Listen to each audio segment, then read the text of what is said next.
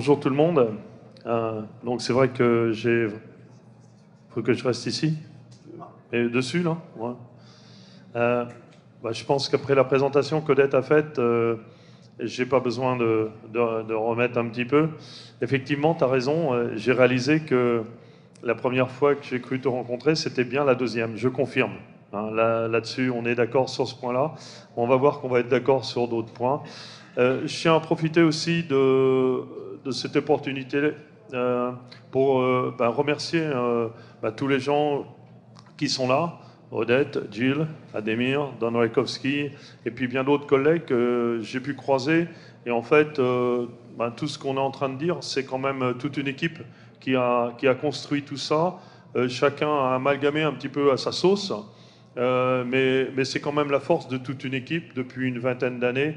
Et, donc euh, aujourd'hui, ça nous amène quand même à ben, se retrouver au, au, CIMA avec une salle aussi pleine et pouvoir présenter un petit peu euh, ces informations-là. Donc moi, j'avais la, responsabilité un petit peu de, conclure vos, travaux et puis d'intervenir derrière mes deux collègues canadiennes. C'est relativement euh, compliqué. Et donc euh, je me suis dit, euh, je vais prendre un petit, peu un angle différent. Je ne vais pas vous parler de la première fois. Je ne vais pas vous parler de la qualité alimentaire. Simplement euh, rebattre un petit peu les cartes. Et en fait, quand on regarde ça, on, est parti du non-labour. Euh, on parle aussi beaucoup de TCS. Certains ont vu les TCSL, les techniques culturelles sans labour. Alors TCS, c'était les techniques culturelles simplifiées. C'est devenu les techniques de conservation des sols. Les choses ont évolué dans le temps. Euh, on a vu le, bah, le semi-direct, l'agriculture de conservation, qui, semble, euh, qui a fait un petit peu sa place, qui semble un petit peu cheminer en rassemblant plusieurs idées. On, ne travaille plus le sol, on couvre le sol, on essaye d'avoir une diversification de plantes qui poussent. En fait, on, a eu quand même un changement de cap assez important à un moment donné, et c'est à partir du moment où on a commencé à mettre les couverts végétaux. Et à partir du moment où on a considéré les couverts végétaux, eh bien, on est, sorti d'un système un petit peu anti. On était contre quelque chose, contre quelque chose qui n'était pas bien, euh, le travail du sol. Mais de manière assez brute, on peut affirmer aujourd'hui qu'il ne suffit pas d'être quelque chose qui est censé être pas bien pour développer quelque chose de bien. Il faut surtout avoir une position positive. Et les couverts nous ont complètement basculé euh, dans cette position-là. Et en fait, tant qu'on était aussi couvert avec SIPAN, euh, culture intermédiaire piège à nitrate, ça n'a pas marché non plus, parce qu'on était contre les nitrates avec les couverts.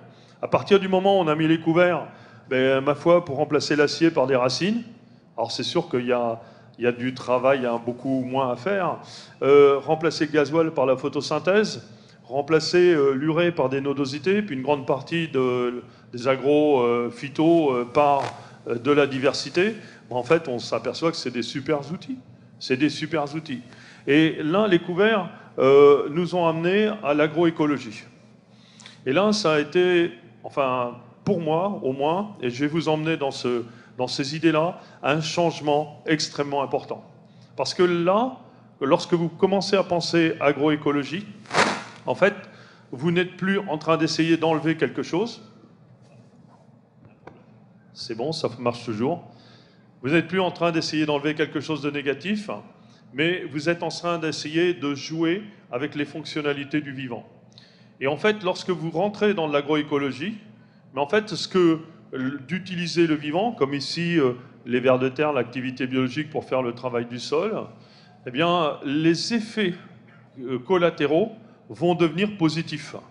C'est-à-dire que là, vous allez non seulement développer la biodiversité, non seulement bah, vous allez limiter l'érosion, non seulement vous allez avoir éventuellement des aliments de meilleure qualité, vous, allez diminuer le travail du sol, vous allez diminuer la quantité d'énergie, mais les, impacts collatéraux seront positifs, avec souvent des surprises euh, vraiment géniales.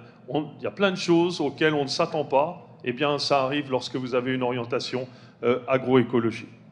Alors je vais vous emmener dans ce monde-là, et dans ce monde-là, un des premiers exemples, je, préfère descendre, parce que j'aime pas être sur... Ça, ça va encore, là hein, Et Odette, elle avait le droit d'aller jusqu'à là. Et moi, je n'ai pas le droit. Et donc, euh, la, première chose, euh, on aime bien parler de biodiversité fonctionnelle. Et lorsqu'on s'est engagé dans ces pratiques-là, quelque chose qui nous, qui nous freinait beaucoup, c'était les limaces. Ça a été notre ennemi public numéro un. Et on s'est dit, eh bien ma foi, arrêtez de travailler le sol, on aura plus de limaces. J'ai même écrit, je m'en excuse, qu'il fallait déchaumer 25 fois pendant l'été. Ça tuait les limaces, ça exposait les œufs, etc., etc. Et puis, quand on a développé les couverts, on s'est dit, ben, ma foi, ça va être, ça va être pire. Puis progressivement, ben, on a vu arriver des carabes, on a, vu arriver des staphylins, on a vu arriver des oiseaux, etc. On a même vu arriver des limaces carnivores qui mangent des autres limaces. Quand j'ai envoyé cette photo-là à Jean-Pierre Sartou, voilà quelques années, il m'a dit c'est la limace léopard. Moi, j'avais jamais vu de limace léopard de ma vie, mais lui, il me l'a confirmé. Il m'a donné le nom latin. Vous m'excuserez, je ne suis pas un scientifique, les noms latins, je ne connais pas, mais il m'a confirmé que c'était une léopard. Et je peux vous confirmer que c'était limace carnivore. J'ai testé, pas personnellement, mais je leur ai mis des petits appâts. Et effectivement, euh, ça aime, ça aime la viande. Donc, euh, alors il y a peut-être des limaces végans, mais il y a des limaces euh, non végans. Et, et donc, quand tout ça se met en œuvre, on n'est pas dans un système où on débouche sur du rêve, c'est-à-dire qu'on n'a plus jamais de problème de limaces. Mais on arrive dans un système où l'équilibre se fait pas si mal que ça. Il y a des fois, il faut rester agriculteur, ça dérape, on va être amené à traiter ou trouver d'autres astuces, mais souvent, ça se passe beaucoup mieux. Il nous a fallu pratiquement 15 ans pour accepter ce, changement de, de pratique. Autre changement assez récent, beaucoup plus récent, c'est le salissement. On est extrêmement ancré dans le travail du sol pour nettoyer les parcelles. Voilà quelques années au CIMA, j'ai rencontré un, agriculteur africain et je lui parlais de non-labour et il me dit Mais comment tu gères le salissement sans travailler la terre?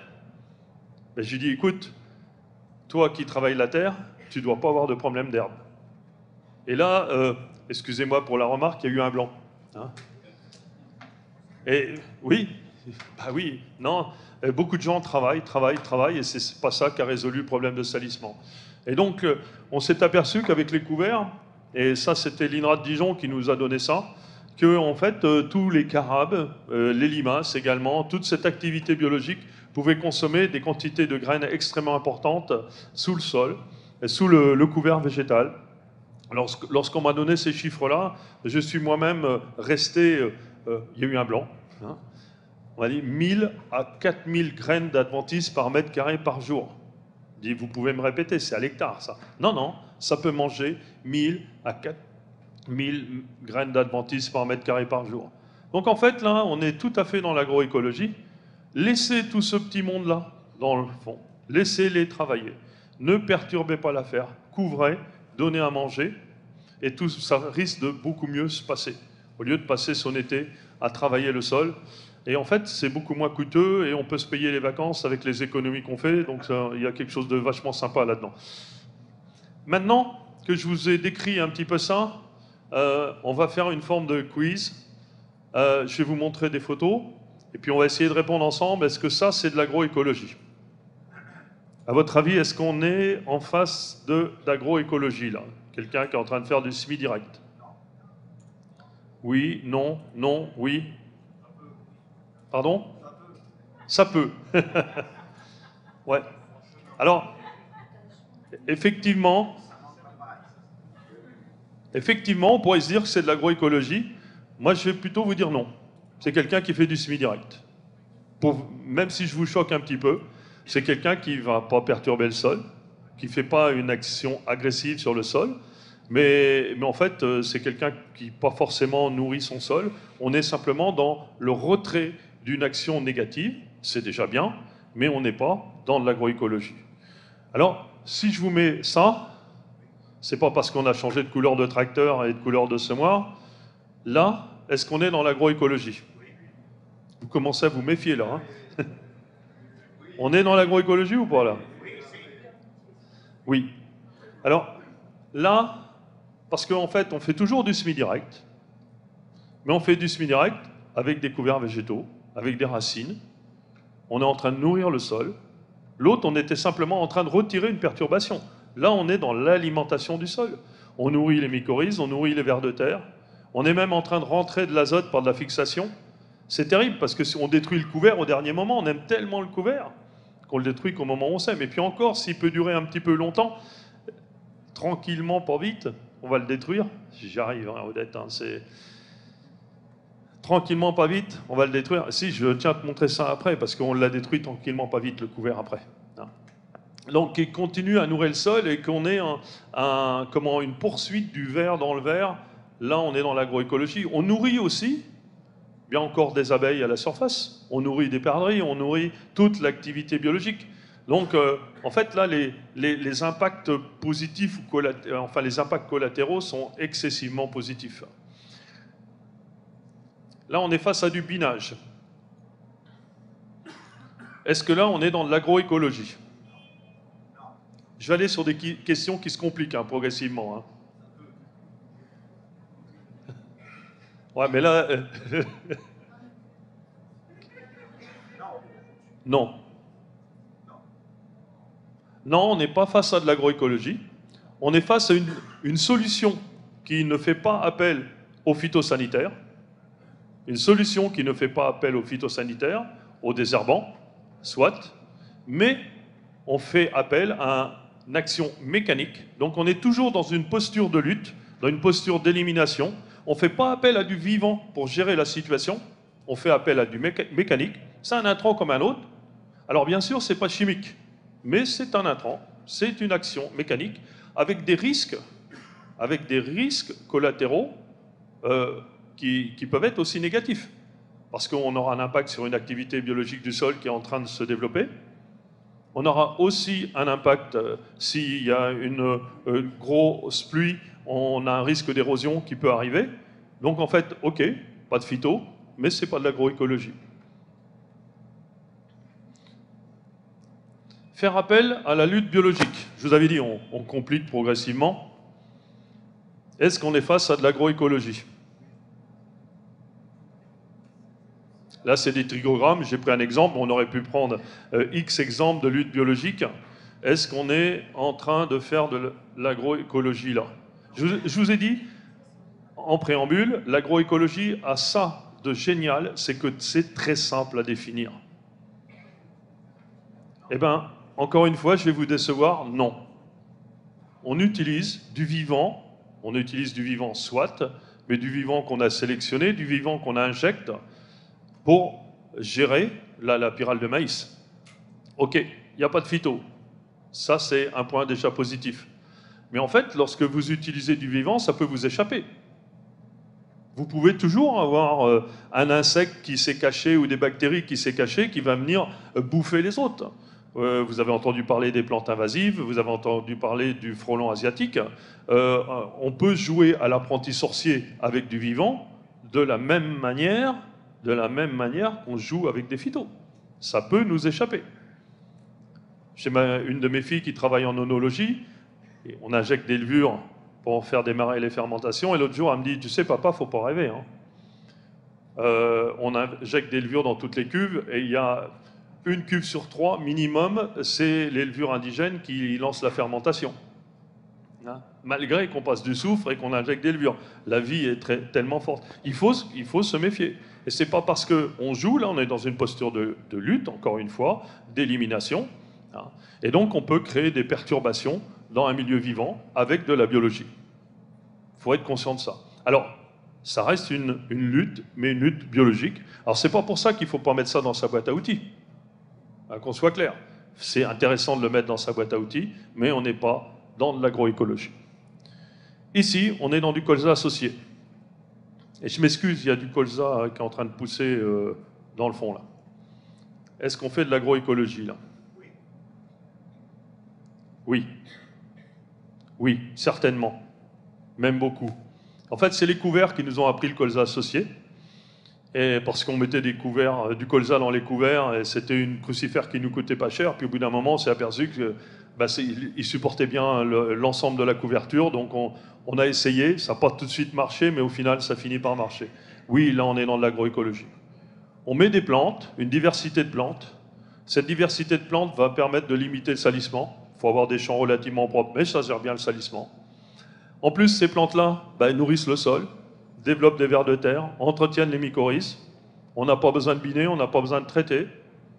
Et en plus, ces plantes-là nous permettent même de euh, comment faire des leurres par rapport aux insectes ravageurs. Et ça, c'était la bonne surprise du colza associé. On n'attendait pas cela. Mais en fait, euh, à partir du moment où on a eu du sarrasin, des févroles qui ont dépassé les colzas, eh bien, on a bien géré les grosses altises, on a bien géré euh, les, les, charançons du bourgeon terminal. Et en fait, là, on est passé d'une situation où on avait tendance à mettre des insecticides pour éviter les insectes d'automne sur les colzas, à une situation où on attire les insectes et on nourrit même beaucoup mieux les pollinisateurs. Donc, euh, vous voyez que le, changement, et donc là, euh, on a un aspect complètement différent. À partir du moment où vous mettez même euh, un peu de sarrasin ou un peu de lin dans le mélange, vous allez avoir des graines au sol qui vont être très favorables pour le petit gibier, etc. Donc, l'équation est en train de s'étendre dans tous les sens. On est bien dans un scénario d'agroécologie. Vous avez dit que ça allait se compliquer alors, l'élevage pâturant, on a tendance à dire, euh, si on veut euh, développer l'agroécologie, il faut remettre de l'élevage dans les exploitations et de l'élevage pâturant. À votre avis, là, est-ce qu'on est en scénario agroécologique?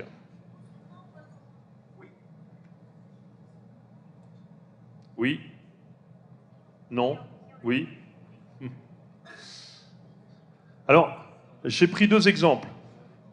J'ai pris un premier exemple qui vient du sud de la France. Là, on n'y est certainement pas. Là, on est à une prairie, on a des animaux, on est en surpâturage, on a des animaux qui peinent. Là, on a une source de fertilité et de carbone. Et ici, on a toutes les déjections qui sont ici, on a certainement de la pollution.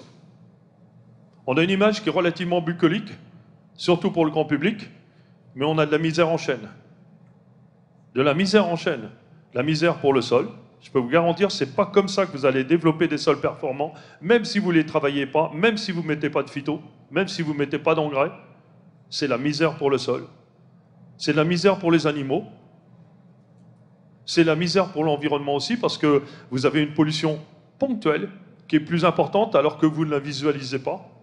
Et c'est la misère pour l'agriculteur. Donc ça, c'est on est dans un scénario euh, complètement euh, vicieux où on est en train de s'enterrer. Ici, là, on est en train de faire pâturer des moutons en blé et un maïs dans un couvert végétal de 8 tonnes de matière sèche. Aujourd'hui, on produit plus de matière sèche sur la ferme entre deux cultures que les prairies moutons en produisent en continu. Ben oui, on est dans un processus agroécologique parce que c'est les moutons qui détruisent le couvert. Vous vous rendez compte C'est même pas un rolofaca, c'est bien sûr pas du glyphosate. Au lieu de dépenser du fuel pour détruire un couvert, de l'énergie, là je transforme un couvert vert en ammonitrate noir grâce à des moutons blancs. Vous voyez, ça commence à... Et tout ça, c'est légal. Hein non, non, mais c'est légal. J'ai même... Je vais même doper l'activité biologique de mon sol parce que j'abaisse le C sur N de ma végétation et je permets de recycler encore plus rapidement. Je vois mes mycorhizes monter.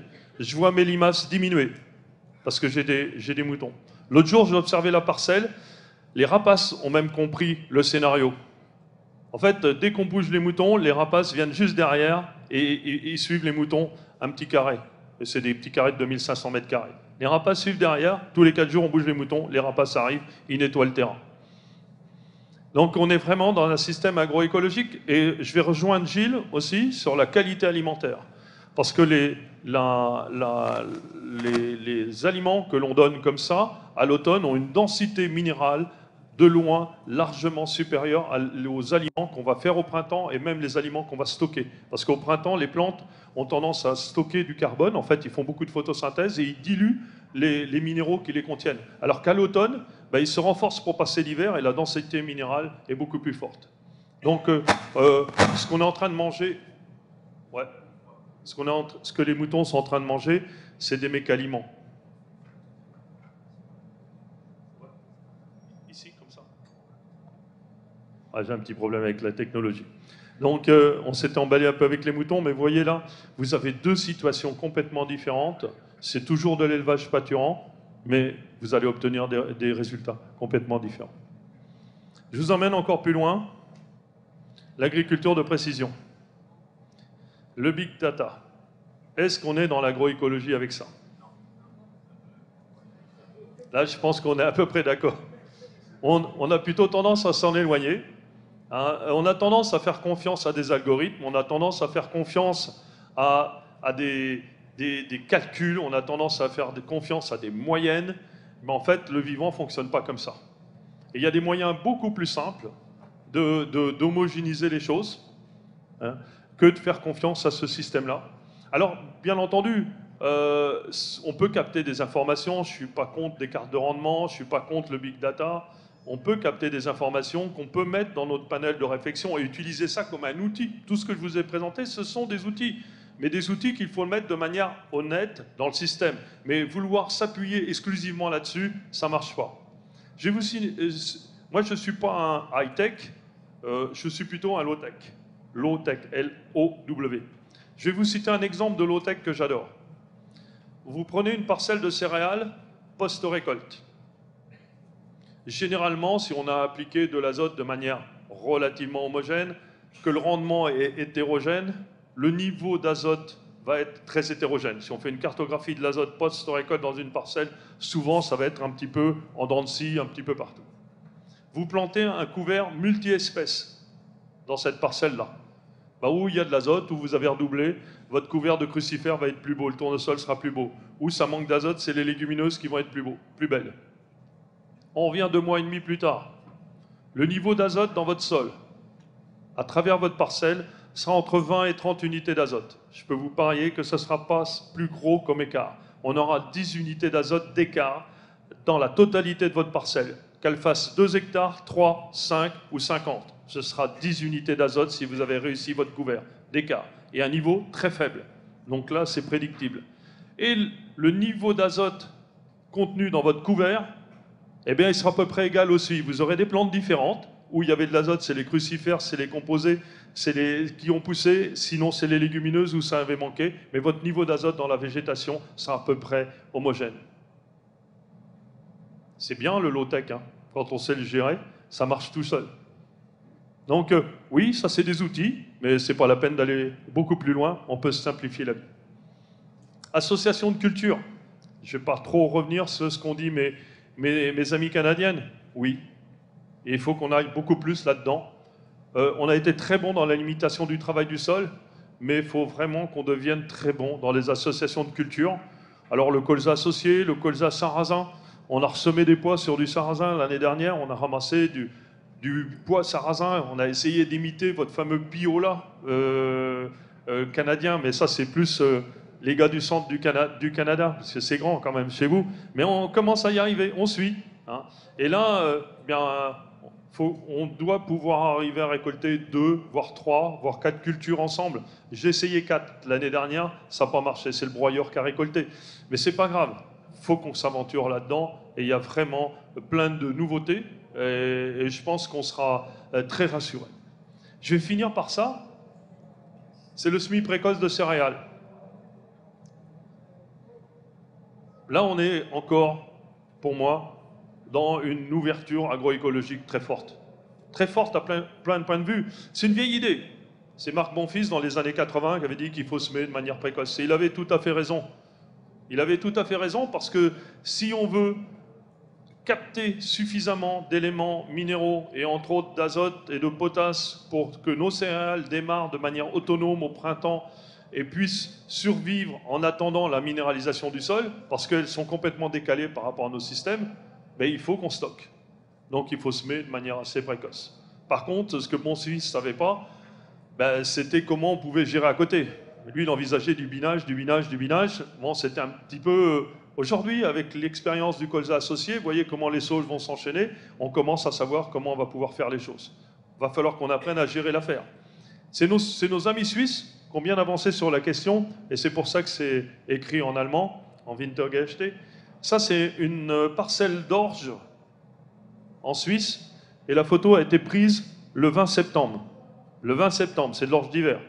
Elle a été semée le 4 août. Le 4 août. En fait, les Suisses vont la semer le 4 août parce qu'ils ont ramassé la févrole le 3 août. La date de semis de l'orge, c'est la date de récolte du précédent qui est la févrole. S'ils récoltent le 15, ils sèment le 16. C'est pas plus compliqué que ça. Euh, je vous garantis, la Suisse, c'est pas tellement loin de chez nous. On est quand même décalé de deux mois par rapport à une date de semis classique d'orge ensuite. En plus, on va récupérer les repousses de févrole. Et là, quand on arrive au 20 septembre, qu'est-ce qu'on fait en Suisse? On broie. En fait, il, rabaisse toute l'orge, il rabaisse toute la févrole dans la parcelle, ce qui va remettre des résidus et renourrir l'activité biologique tout en couvrant le sol pour limiter le salissement. Et en fait, comme on est complètement décalé par rapport au cycle de l'orge, on n'a même pas de problème de puceron, ce qui est surprenant, mais on n'a même pas de problème de puceron parce qu'on est décalé par rapport au cycle des ravageurs. Et puis, quand on arrive à la récolte, bah, c'est pas si dégueulasse que ça, sans herbicide, et avec 70 unités d'azote seulement pour de l'orge. Euh, c'est tout, à fait, tout à fait raisonnable euh, et c'est des choses qui sont aujourd'hui atteignables. Donc euh, nous, on a des, possibilités. Je pense que derrière pommes de terre, derrière maïs en silage ou derrière tournesol, il y a des ouvertures intéressantes. Ça m'amène à ma conclusion. Oui, aujourd'hui, tout ce qu'on a construit ces 20 dernières années a permis de créer une énorme dynamique une énorme dynamique qui, sans qu'on s'en rende compte, commence à faire écho un petit peu partout. Bah déjà, se retrouver autant qu'on est aujourd'hui dans cette salle, c'est génial, mais faire écho dans les champs, parce que lorsque vous sillonnez euh, la France, et je m'excuse, j'ai un bilan carbone au niveau de ma voiture qui est peut-être pas... Je consomme 4000 litres euh, par an, mais comme je ne consomme plus sur la ferme, je, me la joue à la Yann Arthus Bertrand, euh, ça va à peu près. Non, mais j'ai fait les calculs dans les deux sens, je suis à peu près, à peu près équilibré. Je compte pas ceux que des agriculteurs que je rencontre qui ne consomment plus. Hein. Mais oui, il y a une vraie dynamique. Quand vous voyez les parcelles, il y a beaucoup de labour encore, soit, mais il y a une énorme dynamique euh, par rapport à la couverture du sol, par rapport à l'agroécologie. Il y a des choses qui changent. Ça fait écho dans les vergers, ça fait écho dans les vignes, ça fait écho chez les patatiers. Euh, on, on, a de l'expérience aussi en agroforesterie on commence à penser à des systèmes intégrés complètement loufoques, mais qui ne sont pas loufoques. Imaginez désherber votre maïs au canard. Alors ça, je l'ai rajouté pour Jill, parce que quand elle vient en France, elle aime bien manger du canard. Donc c'est notre désherbant maïs, le canard. Hein, c'est bien. Et c'est des bons canards. Hein, qu'on manger des couverts végétaux. Tu vois, avant que ton couvert il soit... Et là, on va trouver du maïs à 60 pouces, là, il va trouver sa place. C'est les canards la prochaine fois au Québec qu'il faut emmener. Vous allez nous en produire du foie gras. Hein Ce sera moins compliqué que de le passer à la douane et de se payer 400 dollars d'amende quand tu arrives à la douane avec tes boîtes de foie gras. On modifie aussi, on modifie aussi du matériel. Il y a toute une dynamique qui est en train de se, mettre en, route. Alors, euh, il y a les constructeurs qui proposent, mais quand on voit euh, deux Lascar, enfin ces trois Lascar du Gers, en l'espace de 4-5 ans, complètement refaire un max émerge, alors que John Deere, ils ont 50 ingénieurs depuis 50 ans qui réfléchissent au max émerge. Alors les premiers, là, à 50 ans, ils avaient trouvé très vite. Hein. Mais là, pour l'instant, il y a besoin d'un petit peu d'évolution. Et c'est tout qui va bouger. C'est pas que l'agriculture qui va bouger, c'est tout qui va bouger. Et en fait, si on veut vraiment réussir cette révolution-là, c'est introduire et continuer d'introduire et de rentrer l'écologie dans nos systèmes. C'est l'écologie qui est l'intrant de, de demain en agriculture. Alors, c'est là qu'il va falloir qu'on se démystifie par rapport au mot écologie. Hein, là, euh, on va des fois avoir quelques soucis, mais c'est l'écologie appliquée, l'agriculture. C'est de l'écologie appliquée. Alors, il va falloir être honnête aussi, c'est que l'agriculture ne sera pas des milieux naturels, ça restera un milieu imposé. Donc, euh, il n'y aura pas d'agriculture sans impact non plus. Vous voyez, mais jusqu'à quel niveau on arrive à pousser l'écologie dans un milieu agricole. Et en fait, je voulais terminer par ces deux points-là. Je suis assez quand même content, malgré que sont capables de faire nos amis brésiliens ou nos amis canadiens ou nos amis nord-américains. Euh, je pense qu'au niveau français, on est pas mal situé. On est pas mal situé au niveau agroécologie. Peut-être pas sur le radar du SMI direct, peut-être pas sur le radar du SMI direct, mais sur les radars agroécologie, je pense qu'on est très bien situé là-dessus et qu'on a les bons moyens de continuer à décoller. Alors j'associe nos amis suisses avec, parce que faut compter sur eux. Euh, on a une compétition positive. Je ne sais pas qui est la légumineuse ou la crucifère des deux, mais il ne faut pas les lâcher parce qu'ils avancent vite Et donc, il faut continuer à les suivre. Heureusement que ce n'est pas un grand pays au niveau surface, parce que ça fait longtemps qu'ils nous auraient écrasés, mais il faut qu'on continue de les suivre. Et en conclusion, en clair, on est contraint à intensifier la photosynthèse. On est contraint d'intensifier la photosynthèse. Il n'y a pas d'autre solution. Intensifier la photosynthèse. Alors, intensifier la photosynthèse pour produire de la nourriture, ça, on peut être à peu près tous d'accord là-dessus. Euh, multiplier des semences. Alors ça, on a un petit peu de mal, mais l'intrant de demain, ou le deuxième intrant après l'écologie, ce sera des graines. Parce que si on veut récolter quelque chose, ou si on veut des couverts, ou si on veut des plantes multi-espèces, etc., etc., il va nous falloir des graines. Quand vous voyez de la févrole, par exemple, à 200 kg l'hectare, si on sème un champ en plein, ben, il faut, quand même 5% euh, de la surface de la ferme en févrole. Pour, euh, alors on fait mieux avec de la moutarde. Hein, avec, euh, avec un hectare, on arrive à semer à peu près 1000 hectares. Mais il va nous falloir des graines. Et donc ça, ça va prendre de la surface. Mais ça va porter de la diversité dans les champs. Produire du fourrage local, vous voyez ce que je veux dire par de fourrage local Alors on peut discuter euh, les plans protéines et tout ça, mais on s'en fout des plans protéines. Il faut produire du fourrage local. Il faut remettre les animaux où ils doivent être. Et les animaux ne doivent pas être un objectif de production, c'est un outil dans le système agroécologique. Quand vous voyez mes moutons, là, un coup j'ai amené des éleveurs. Dis qu'est-ce que vous voyez dans ce champ-là? Bah, Des moutons qui mangent des couverts, ouais.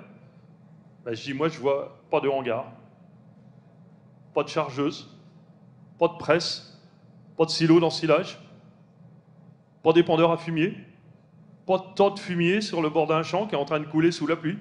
Enfin, vous voyez, tout ça, et, et ben, c'est du fourrage local et archi-local. Fournir du carburant pour la vie du sol. Alors, je suis désolé, mes vers de terre consomment du carbone. Ils rejettent du CO2. Ils rejettent du CO2, hein. Peut-être plus que mon tracteur.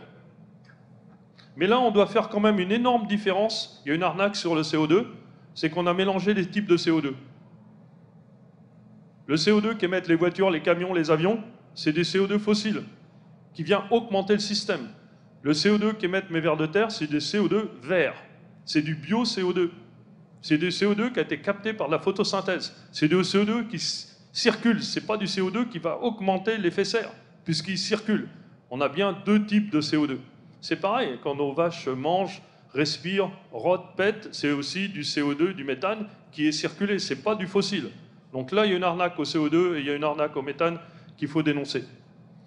Alimenter les écosystèmes environnants? Bah oui, les abeilles? J'étais récemment avec un scientifique sur l'Institut de l'abeille. Il me dit néonicotinoïdes Oui, on a vu qu'il y avait un impact. Ça. Mais c'est pas en supprimant les néonicotinoïdes qu'on va régler le problème de l'abeille en France. C'est le problème des alimentés. Ils sont alimentés par du colza au printemps, par du tournesol ou du maïs à côté, de temps en temps par de la forêt, et aussi beaucoup par de sucre. Merci les betteraviers. Et donc, euh, si on met beaucoup de fleurs dans le système, si on met beaucoup d'alimentation et des relais, bah, ça se passera beaucoup mieux. Et la période estivale est une période de grosse carence alimentaire pour les abeilles. Donc, euh, on a du travail là-dessus. Alors, écosystème environnant, euh, c'est pas que les abeilles. Le petit gibier, on a aussi du chevreuil. Alors, dans cela, j'ai aussi des sangliers. Bon. Tu connais Noël, la réponse de mon père, c'est une grosse carence en plomb. Hein, on y travaille. Une grosse carence en plomb. Alors, il euh, faudra que Gilles m'explique comment on va régler la carence en plomb, mais pour l'instant, euh, euh, on y travaille. produire de l'énergie renouvelable. Produire de l'énergie renouvelable. Hein, quand je vois les programmes qui sont en train de se dire, allez, on sera autonome en énergie, on nous pousse toujours les politiques dans 20 ans, dans 30 ans, de toute façon, il n'y aura personne pour vérifier. Non, la seule énergie renouvelable qu'on peut produire, c'est l'agriculture. C'est l'agriculture. C'est pas le photovoltaïque ou le solaire. C'est l'énergie gratuite intermittente qui pose un gros problème de stockage. L'agriculture, c'est vraiment du renouvelable fait avec du verre. C'est pas des panneaux chinois, des panneaux solaires chinois. C'est des panneaux solaires verts que vous construisez chez vous et qui sont recyclés tout le temps chez vous, avec de l'énergie qu'on peut stocker. C'est quand même très différent comme projet. Ensuite, euh, fournir des biomatériaux, bah oui, Si demain on est obligé de construire euh, des meubles en biomasse, euh, si on est obligé de construire des maisons en paille, si on est obligé d'utiliser des biomatériaux, ça viendra peut-être un peu de la forêt, mais ça viendra aussi de l'agriculture. Donc on a d'énormes marchés devant nous. Alimenter la chimie verte, là encore, lorsqu'on va vouloir extraire quelques molécules un petit peu spécifiques qu'on va pouvoir utiliser, ben, ma foi, euh, on connaît bien les, les péritrinoïdes, mais il va y avoir plein de molécules qu'on va aller chercher comme ça. Eh bien, ce sera la chimie verte. On commence à le faire avec les, purins d'ortie, les produits fermentés, etc. C'est de la chimie verte. Donc là, il va falloir des parcelles qui sont dédiées à ça. Et en fait, quand on y regarde, bah, l'agriculture qui est souvent présentée comme euh, la, responsable de toutes les difficultés. Alors ce matin, euh, en pensant à la conférence de cet après-midi, j'étais en train d'observer le ciel. Imaginez, je venais de l'ouest, je vois 50 avions dans le ciel, le ciel était bien bleu, en arrivant sur Paris, tu te dis, euh, puis tu as les champs de chaque côté, quoi. Puis tu vois le 70 km/h quand tu arrives, parce qu'on te dit, euh, tu arrives là, cause pollution, machin. On dit, mais on va finir par nous faire croire que c'est la campagne qui est quand même relativement verte, qui est la plus polluée, à côté de la ville, qui sont indemnes. Quand il n'y a plus un coup de vent, euh, on suffoque en ville quand même. Donc il y a un moment, il va bien falloir remettre les choses à leur place. Remettre les choses à leur place. Et donc, euh, je m'excuse, séquestrer du carbone. J'avais oublié celui-là. Vous avez reçu lors de vos travaux euh, Stéphane Le Foll. Je le remercie pour le 4 pour 1000. Je remercie Odette de lui avoir montré un verre de terre. Ça l'a transformé un jour et il n'arrête pas d'en parler. Reviens quand tu veux, croise nos ministres de l'Agriculture quand tu veux. As un effet formidable sur eux. Hein. Et donc, non, il n'arrête pas d'en parler. Séquestrer du carbone. Mais vous voyez que séquestrer du carbone, encore une fois, j'en viens à l'agroécologie pour conclure, ce ne sera pas l'objectif, c'est la conséquence positive, bordel, de tout ce changement-là. C'est simplement la conséquence positive. Si demain on oriente les systèmes pour séquestrer le carbone, mais on n'avancera pas. Comme on n'a pas avancé en 30 ans pour piéger, pour arrêter les nitrates en Bretagne, ou 40 ans maintenant. Voilà. Ce que je voulais vous apporter cet après-midi, je vous remercie, puis on va pouvoir passer aux questions.